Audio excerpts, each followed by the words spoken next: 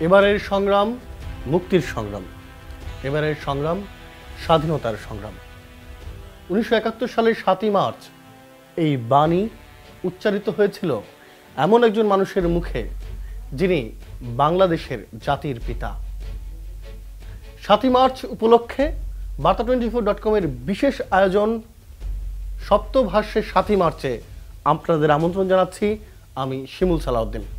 আমাদের সাথে আছেন এমন একজন তিনি একজন প্রখ্যাত কথা সাহিত্যিক তিনি সেই বিকেলের গল্প নিয়ে লিখছেন একটি অসামান্য উপন্যাস, নাম সাতই মার্চের বিকেল।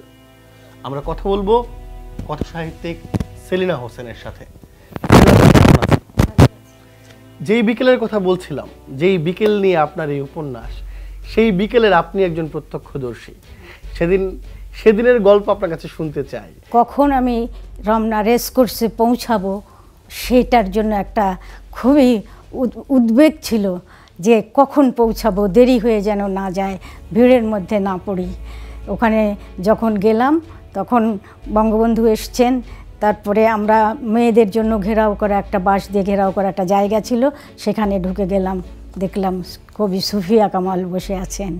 আরও অনেকেই ওই পুরো এলাকাটা ভর্তে মহিলারা বসে আছেন সেটা মহিলাদের জন্য ঘেরাও করা একটা জায়গা ছিল। আপনার সাথে কে কে ছিল আপা?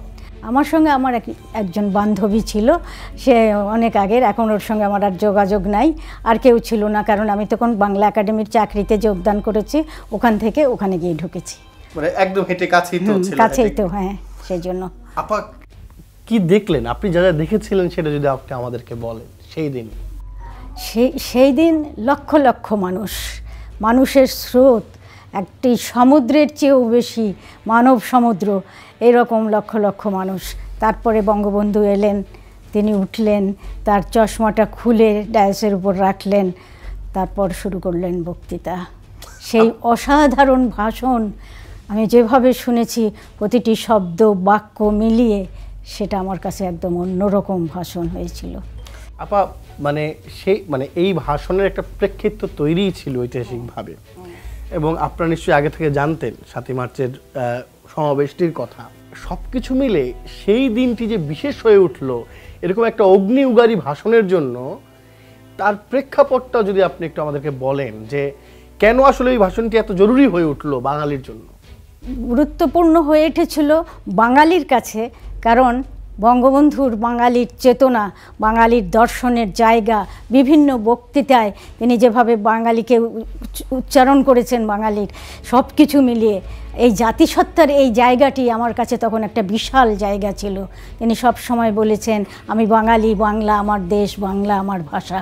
এই যে বাঙালির অর্জন, এই অর্জনটা আমি সাহিত্যিক হিসাবে যেভাবে আমার ভেতরে ধারণ করেছিলাম, সেটা বঙ্গবন্ধুর ভেতরে পেয়ে আমার মনে হয়েছিল যে আমাদের রাজনৈতিক অর্জন হবে বাঙালি হিসাবে। এই জায়গাটা।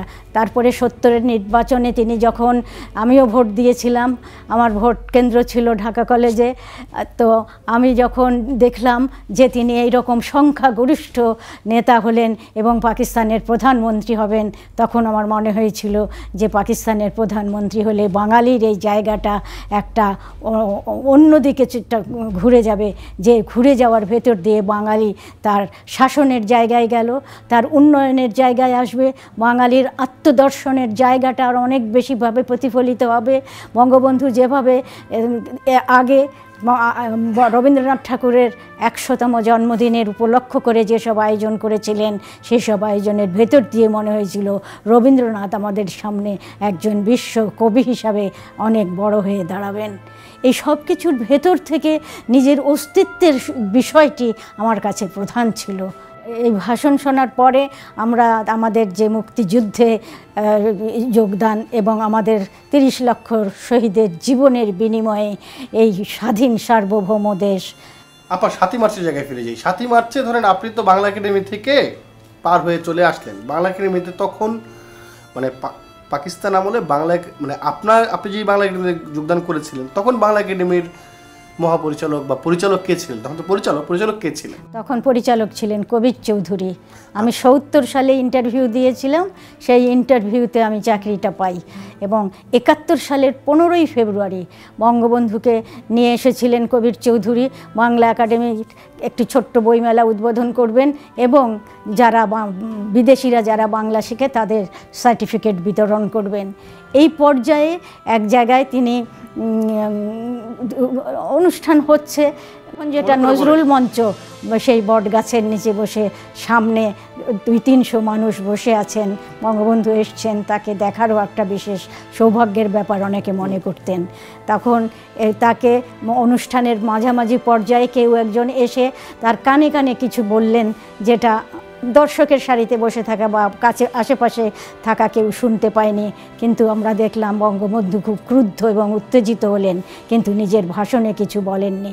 এক পর্যায়ে দর্শক সারির প্রথম সারিতে বসেছিলেন রবীন্দ্রসঙ্গীত শিল্পী হুসনা ভানু খানম। তিনি এখন আর আমাদের মাঝে নেই। বঙ্গবন্ধু তাকে ডাকলেন বললেন, মঞ্চে আসেন। তিনি মঞ্চে গেলে বললেন, একটা রবীন্দ্রসঙ্গীত করেন। তখন তিনি বললেন হুসনা বানু খানম যে কি গান গাইব? তখন বললেন ও আমার দেশের মাটি তোমার পরে ঠেকাও মাথা। মাথা। সেই গানটি গাওয়ার পরে স্তব্ধ মানুষ খুব আবেগের সঙ্গে সেই গানটি শুনল দেশপ্রেম। এবং আমার কাছে এটা আজকের দিনেও একটি শিক্ষার মতো মনে হয় যে একজন রাজনৈতিক নেতৃত্ব তার সাংস্কৃতিক চেতনাকে কীভাবে রাজনীতির সঙ্গে এক করেন এক করলেন এবং মানুষের আবেগকে দেশপ্রেমে উদ্বুদ্ধ করলেন। কারণ তার মনে তখন নিশ্চয়ই ছিল সংগ্রামের কথা মুক্তিযুদ্ধের কথা কিন্তু তখনও সেটা ওইভাবে প্রচারিত হয়নি। পরে আমরা শুনেছিলাম যে দুই দিন পরে আমরা শুনলাম যে কি হয়েছিল সেই দিন কি ওই যে ভদ্রলোক এসে কিছু বললেন কি বলেছেন? তখন জানা গেল ওই একাত্তর সালের পনেরোই ফেব্রুয়ারি বিকালবেলা ইয়াহিয়া খান ভুট্টো সহ বঙ্গবন্ধু সহ একটা মিটিং হবে কিন্তু ভুট- ভুট্টো সেই মিটিংয়ে বসবে না বলে সেই মিটিংটি ক্যান্সেল হয়ে গেছে। তো সেই জন্য বঙ্গবন্ধু আর জানেন। যে জন্য এই প্রসঙ্গটি অবতারণা করেছিলাম, সেটা হলো ধরেন বাংলা একাডেমির তখন যেই অবস্থা ছিল, তাতে আপনি যেমন একাডেমি থেকে, আপনি একাডেমির চাকুরে, আপনি একাডেমি থেকে ভাষণ শুনতে চলে গিয়েছিলেন, অন্যান্য কর্মীরাও কি গিয়েছিল কি হ্যাঁ অনেকেই গিয়েছিল অনেকেই গিয়েছিল। তো সেই ভাষণের উপরে আমাদের একজন বাংলা একাডেমিতেই চাকরি করতেন আব্দুল ওহাব নামে। তিনি একটি বইয়ের সংকলন করেছিলেন। সুন্দর। ভাষণ শুনতে নিশ্চয়ই অনেক মানুষ এসেছিল। জনসমুদ্র যেটা বলছেন আপনি। ফেরার সময় আপনাদের কোনো মানে ফেরার সময় কোনো হ্যাপা পোহাতে হয়েছে কি? হ্যাঁ না সেটা বলছি। সেই রকম কিছু পোহাতে হয়নি। কারণ আমি একটু দেরি করে বেরিয়েছি আমি ভেবেছিলাম ভিড়টা সরে যাক তারপরে আমরা বের হব তো সেই সেই ভাষণ শোনার সময় সেখানে সর্দার ফজলুল করিম ছিলেন তিনিও তখন বাংলা একাডেমিতে চাকরি করতেন। তিনি একটা কথা বলেছিলেন যে আমি একটু ছোটোখাটো মানুষ। এই ভাষণ শুনে মনে হচ্ছিল আমার উচ্চতা আকাশ সমান হয়ে যাচ্ছে। আর পাকিস্তানের যে মিলিটারির যে হেলিকপ্টারগুলো ঘটছিল ওগুলো দেখে আমি একটুও ভয় পাইনি। ভাষণ আমাকে এত সাহসী করে তুলেছিল। আমি সাহসের সঙ্গে মনে হয়নি যে এই হেলিকপ্টার ঘুরতে দেখে বোমা পড়বে কিনা সেটা ভেবে আমি পালিয়ে যাব। আমি কোথাও থেকে বের হইনি। আপা আপনি আমাদের ইতিহাস আপনার লেখালেখিতে সবসময় আপনি আমি যদি আগের আপনার উপন্যাসগুলোর কথা বলি আপনি আমাদের ইতিহাস ঐতিহ্য সেগুলোকে সবসময় সংযুক্ত করেছেন। আমাদের লড়াই সংগ্রাম এমনকি কৃষক বিদ্রোহ সাঁওতাল বিদ্রোহ টঙ্ক বিদ্রোহ সেগুলো আপনার লেখায় এসছে। ওই ভাষণের যে শব্দচয়ন আপনি একজন কথা সাহিত্যিক এবং সেটা তো লিখিত কোনো ভাষণ ছিল না। উনি ইনস্ট্যান্ট ওখানে ভাষণটা দিয়েছিলেন। এটাকে আপনি কীভাবে এটাকে তো আমি তার প্রজ্ঞার জায়গা থেকে দেখি জ্ঞানের জায়গা থেকে দেখি শিল্পবোধের জায়গা থেকে দেখি যে আমি পরবর্তী সময়ে তিনি যে দুইটা বই লিখেছেন অসমাপ্ত আত্মজীবনী এবং কারাগারের রোজনামচা এগুলির মধ্যেও প্রবলভাবে সাহিত্য আছে ভাষা ব্যবহারের সেই জায়গাগুলো অসাধারণ মনে হয়।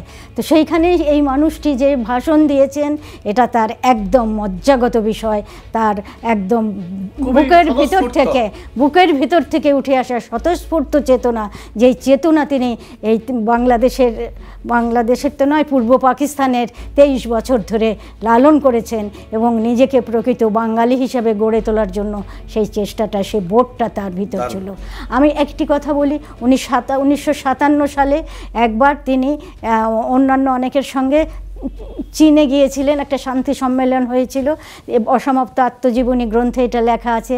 তিনি বলছেন যে আমাকে যখন ডাকা হলো, আমি ইংরেজিতে ভাষণ দিতে পারতাম, কিন্তু তারপরেও আমি দেইনি। আমি বাংলা ভাষায় ভাষণ দিয়েছি, কারণ বাংলা আমার মাতৃভাষা, বাংলা ভাষার জন্য আমাদের শহীদেরা প্রাণ দিয়েছে। তখন ওখানে কলকাতা থেকে একজন এসছিলেন মনোজ বসু, তিনিও আমাকে খুব করে বললেন যে আপনি একটি অসাধারণ কাজ করেছেন। আমার কথা হলো আমি বাংলা বলব না কেন? আমার জায়গায় আমি দাঁড়িয়ে বাংলা অবশ্যই বলব। ওরা ওদের মতো ইন্টারপ্রেটার রাখবে অনুবাদ করিয়ে শুনবে। একটা অসাধারণ বিষয়। এই সব কিছু যখন আমরা চিন্তা করি হ্যাঁ কি যখন চিন্তা করি তখন মনে হয় যে ওই ভাষণটি যে তিনি দিয়েছেন সে ভাষণটি দেয়া তার জন্য বড় কঠিন কাজ ছিল না। আমি এই ভাষণের দিনের আরেকটি কথা একটু উল্লেখ করতে চাই। আপা- জি, আপা। যাব যে বললাম যে মাঠ একটু খালি হয়ে গেলে আমি আর আমার বান্ধবী দুজনে হেঁটে আসছিলাম। মাঠের মাঝখানে একজন বাদামওয়ালা বসেছিল বাদাম বিক্রি করছে। তো আমাদেরকে দেখে বলল আপনারা একটু বাদাম কিনেন। তো আমি একটু কিনলাম বাদাম। যখন ও কাগজ দিয়ে মুঠি করে আমাকে হাতের মধ্যে বাদামটা দিচ্ছে তখন বলছে মুইছা গেছে মুইছা গেছে পূর্ব পাকিস্তান। আমি একদম থ হয়ে গেছি। একজন নিরক্ষর সাধারণ মানুষ কীভাবে এই জিনিসটা চিন্তা করল বঙ্গবন্ধু তার ভাষণে একবারও বলেনি পূর্ব পাকিস্তান। তিনি বাংলা বাংলাদেশ পূর্ব বাংলা এভাবে নিজের দেশকে অ্যাড্রেস করেছেন তার নানা কিছুর মধ্যে। সাতই মার্চের বিকেল আপনার এই উপন্যাসটা দু সালে প্রকাশিত হয়েছে। মানে এই উপন্যাস লিখবেন এটা আপনি কবে থেকে ভাবলেন যদি এটা আগে বলেন? আমি বাহাত্তর সালে একবার ভেবেছিলাম লিখব। তারপরে তখন আমি কিন্তু এই বক্তৃতার আর দাবায় রাখতে পারব না। এইটা নিয়ে একটা ছোট প্রবন্ধ লিখেছিলাম এবং ছোট পাঁচ ছয় লাইনের কবিতার মতো লাইন বাই লাইন করে লিখেছিলাম। আপনার এই উপন্যাসে আপনি তো মানে একটা উপন্যাসে সবসময় উপন্যাসিক তার আপনার যেহেতু নিজের বাস্তব অভিজ্ঞতা ছিল এক যেহেতু আপনি আপনার কল্পনাও মিশিয়েছেন।